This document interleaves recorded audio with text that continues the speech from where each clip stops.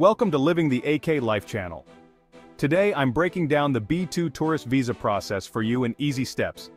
If you're planning a trip to the United States for leisure, visiting family or getting medical treatment, this video is for you. Please like and subscribe to our channel and leave a comment for more visa updates. First things first, let's talk about eligibility. The B2 visa is for non-immigrants. That means if your main reason for visiting the US is tourism, visiting friends or family, or medical reasons, you're on the right track.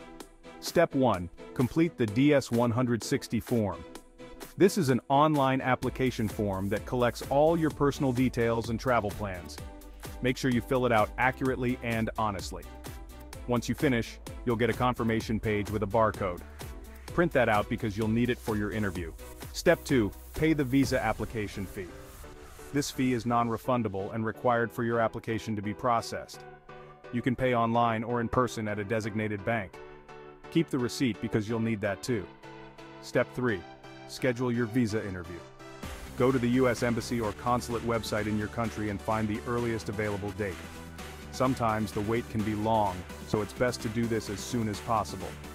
You'll need your DS-160 confirmation number to book it. Now let's move on to the all-important interview.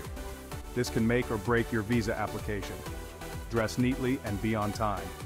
Bring your passport, DS-160 confirmation page, visa fee receipt, and any supporting documents like travel itineraries, financial statements, or invitation letters. During the interview, be honest and confident. The consular officer will ask about your travel plans, ties to your home country, and how you'll finance your trip. The goal here is to prove that you'll return home after your visit. Lastly, after the interview, you'll know if your visa is approved or denied. If approved, your passport will be taken for visa stamping and returned to you within a week or so. If denied, don't worry, you can always reapply. Just make sure to address the reasons for denial before reapplying. And there you have it. The B2 tourist visa process explained in easy steps. If you found this video helpful, please like and subscribe to our channel and leave a comment for more visa updates. Safe travels, and good luck with your application.